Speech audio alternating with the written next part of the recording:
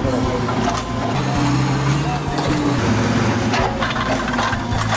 tym roku był, był robiony. 50 lat temu, 50 lat temu.